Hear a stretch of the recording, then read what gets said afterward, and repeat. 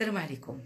إلا عرفنا نقضي وقتنا في الدار والله ما تيكفانا ما بين الخدمة والقراية والشقة والرياضة.